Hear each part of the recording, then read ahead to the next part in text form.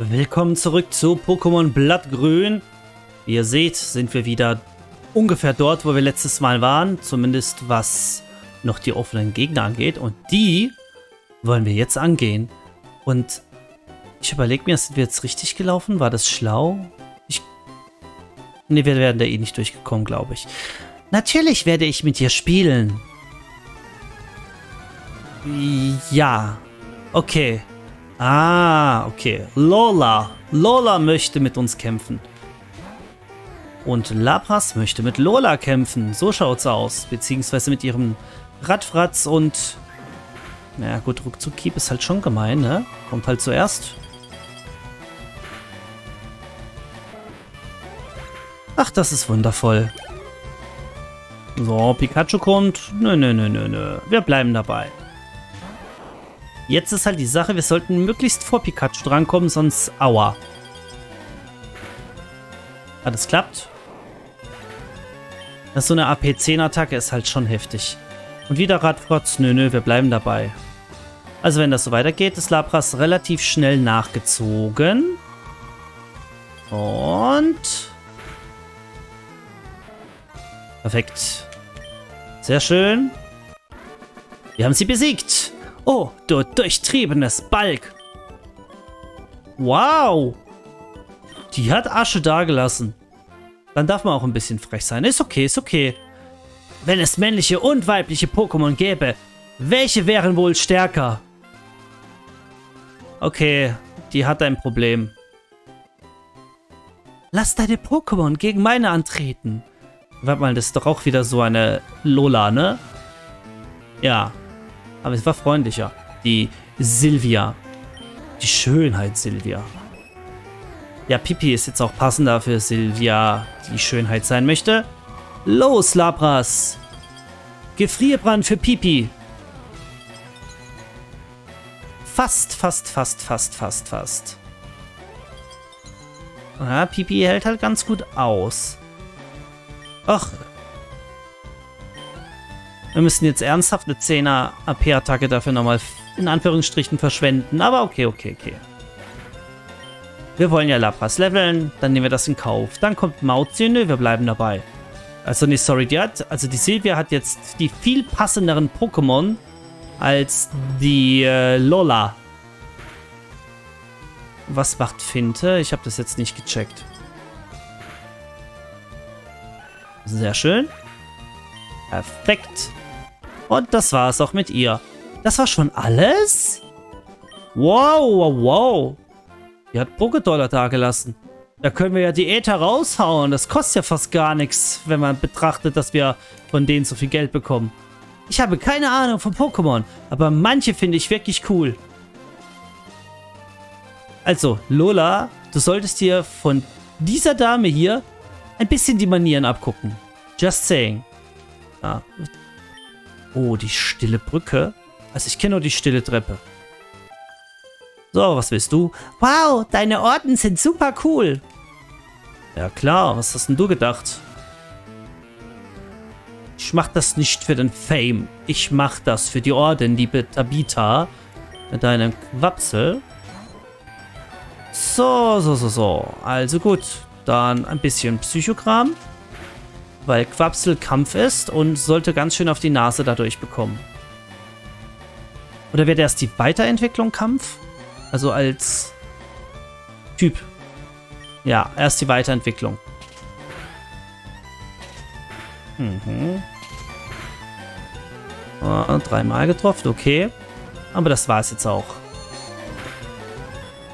Oh ja, Lapras ist wirklich mächtig. Fast schon legendär mächtig. Nee, nee, wir bleiben dabei. Wenn ich mich recht entsinne, sollte das nichts bringen. Und dann war ich mal durcheinander. Ja, es ist nicht effektiv, aber es ist in diesem Fall jetzt egal. Nein, nein, nein, ey. Wag es nicht. Unverschämtheit, Quapsel. Das kostet uns wertvolle Zeit, die ich damit verbringen muss, mich jetzt durch diese Menüs zu hangeln die einfach wirklich nicht, und das muss man sagen, für so viele Gegenstände gedacht sind. Und das geht auch wirklich viel zu lange mit der Pokeflöte. Also, ich finde es ja nett, aber wenn man es halt zehnmal oder so gehört hat, dann ist es wie wenn man eine Staffel Game of Thrones guckt auf Blu-ray und nach der dritten Folge hat man einfach keinen Bock mehr auf das Intro. Weil man denkt so, ey, ist okay am Anfang der Staffel und ich weiß, sie machen jedes Intro ein bisschen anders vor jeder Folge. Aber ich hab's ja verstanden.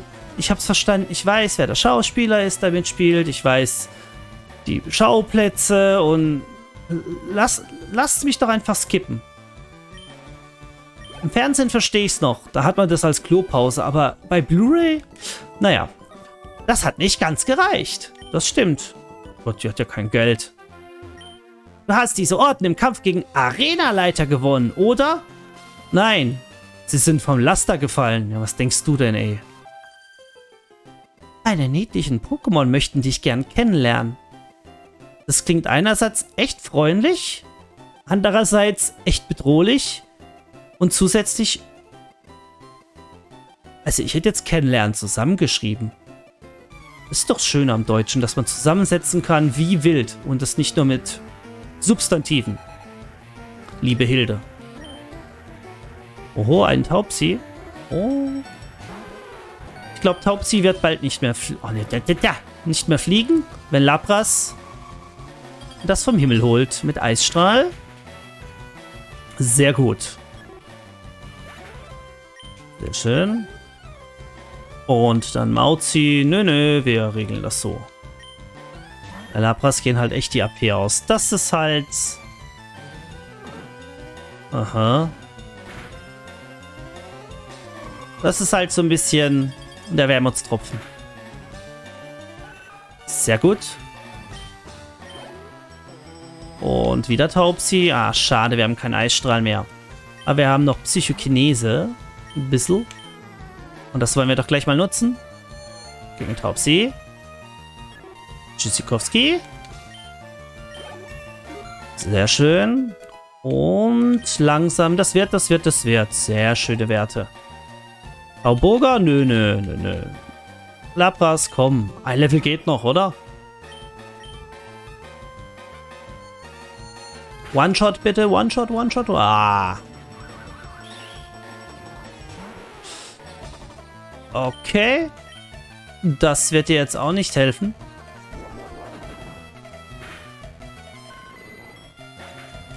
Na, gut. Passt doch. So, was hat sie noch zu sagen? Wow, du hast mich mit Leichtigkeit besiegt. Ja, klar. Du solltest mal deine Pokémon entwickeln lassen. Pokémon müssen viel kämpfen, damit sie stark werden. Diese Tipps, diese Tipps, Leute. Ach, echt? Ja, langsam, langsam wird das mit Lapras. So, das sind die coolen Biker. Oder die pseudo-coolen. Tipps für Trainer. Drücke Select, um die Position von Items im Menü zu tauschen. Ja, das ist gar nicht so blöd. Ja, wir nehmen mal den Zerschneider. Lass uns da einfach mal gucken, was denn hier ist. Äh, Zwei Pokémon-Kämpfe nehmen wir hier mal mit. Nofensa. Nee, das wollen wir nicht. Komm, einmal noch. Mhm. Da ist es schon wieder. Nö, nö. Das ist wirklich eine schöne Komfortfunktion, dass der Zerschneider jetzt hier erstmal für den Moment bleibt ich glaube in Rot und Blau außerhalb des Bildes gehen, bedeutete, dass der Busch wieder da war. So. Das wäre jetzt auch wichtig, dass wir den herlaufen lassen, sonst kommen wir da nicht durch. Bin unterwegs und habe Rückenwind. Ah! Eine popkulturelle Referenz. Oh Mann, jetzt habe ich einen Ohrwurm. Der Clip davon war auch echt schon wie wird man heute sagen, cringe? Hallo Joschka.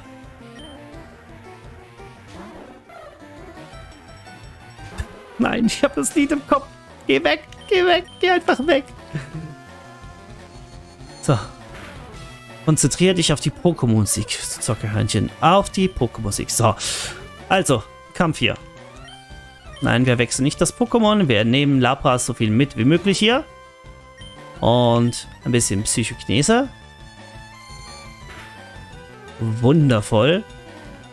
Wundervoll. Ich würde auch gerne mal interessieren, wie viel Freiheit haben eigentlich die Übersetzer jetzt bei so Texten? Weil das war jetzt ja eindeutig auf den Dachraum gemünzte popkulturelle Anspielung. Also zumindest in der Zeit gesehen. So.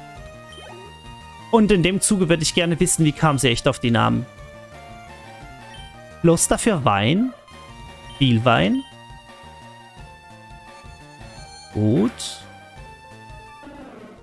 Ach, Labras, es ist einfach schön mit dir hier. So. Und nun lasst uns den Vogel abschießen. okay, da war schlecht. So. Aber es hat geklappt. Joschka wurde besiegt. Der Wind dreht sich. Oho. Was hat er zu sagen? Ich bin besiegt. Ich werde nach Hause fliegen. Junge, das war jetzt, das war jetzt Einspruch dann doch zu viel. Ah, das hat also gar nichts gebracht. Wir werden eh ruhig gekommen. Damit Pokémon starke Attacken erlernen, muss man TM einsetzen. Ja und nein. Lieber Armin, das ist wie wenn du, ups, wie wenn du Super Plus tankst. Ja, ist guter Sprit, aber man muss es nicht unbedingt, um gute Fahrwerte zu erreichen, zumindest mit einem normalen Auto. Ein Taubsi kann auch ohne TM coole Sachen lernen. So, Dodo. Wir müssen wechseln, denn wir haben jetzt ein Problem. Oh, Raichu, hilf mal, denn wir haben keine AP mehr für Labras. Ist so. Das ist die Labras-Krise, aber es kommt langsam ran an die anderen Pokémon, die wir im Team haben. Los! Und sehr gut, sehr gut, sehr gut, sehr gut. Dann ziehen wir das jetzt mal nach hinten. Oh! Da freut sich Raichu.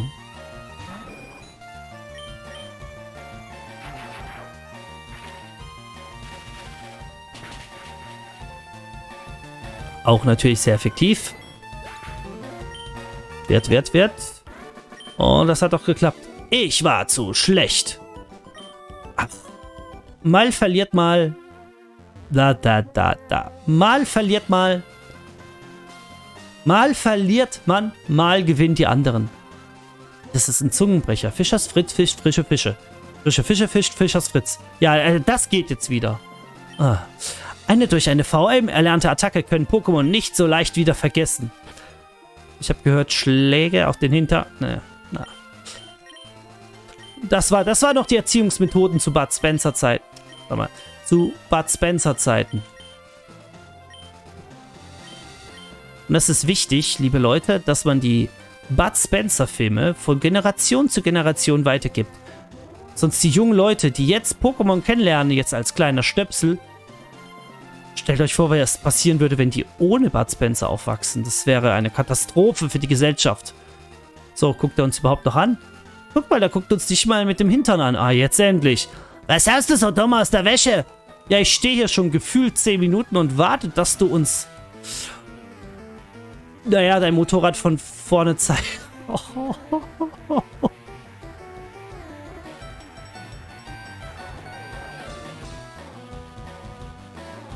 Ich brauche ein Getränk, das in kleinen Gläsern kommt und ein Getränk, das man sehr schnell leer trinkt und dann die nächste Runde bestellt. Diese Namen!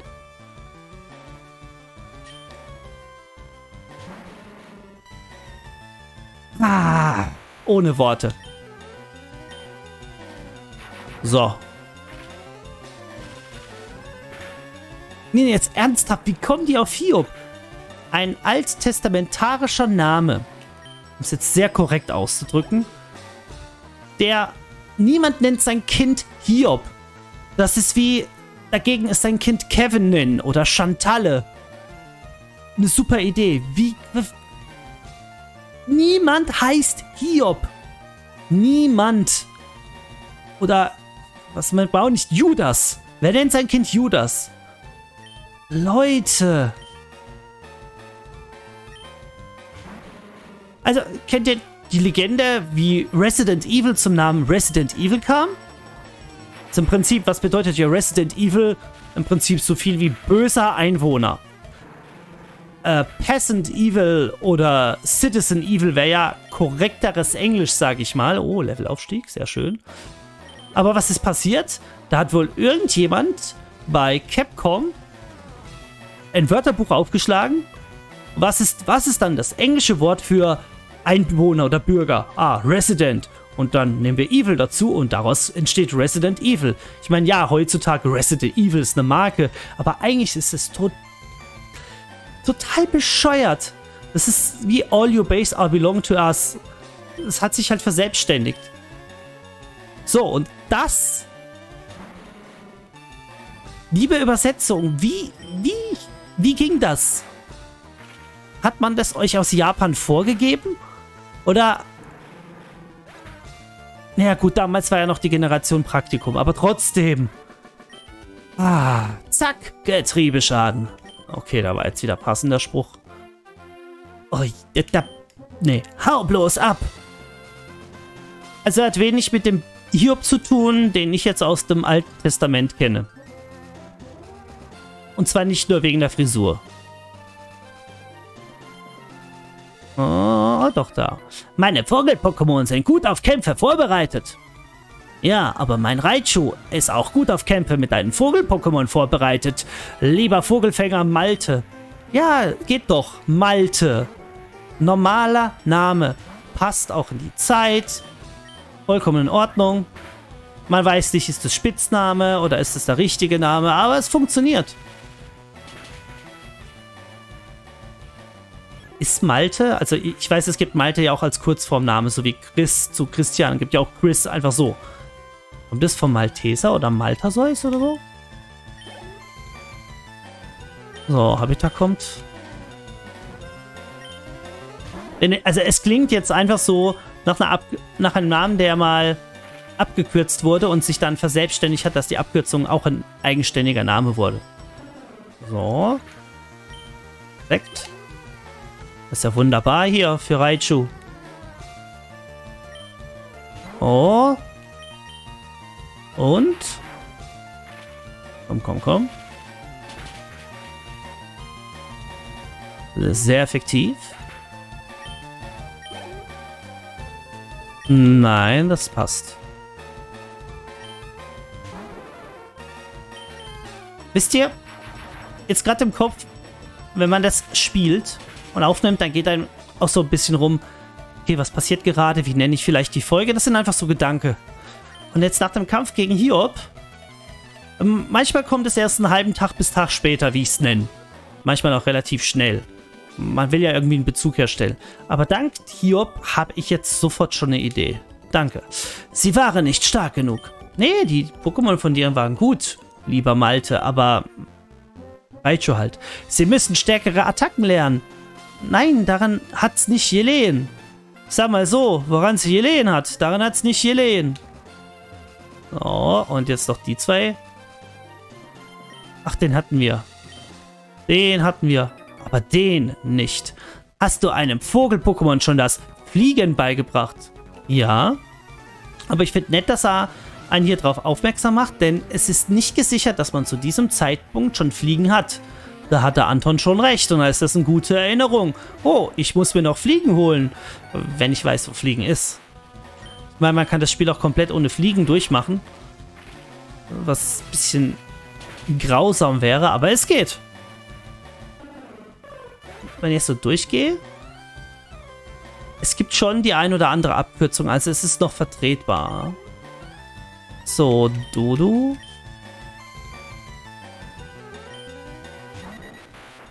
Du, du, du.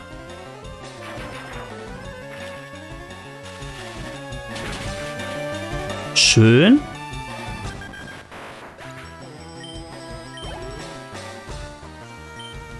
Weiter, weiter. Und...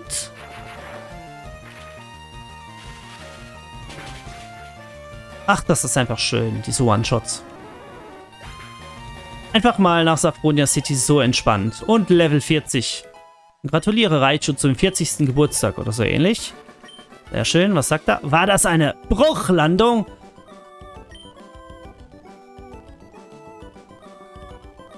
Ich empfinde Fremdscham für die Sprüche. Die sind so schlecht, dass es eigentlich wieder gut ist, aber sie sind schlecht. So.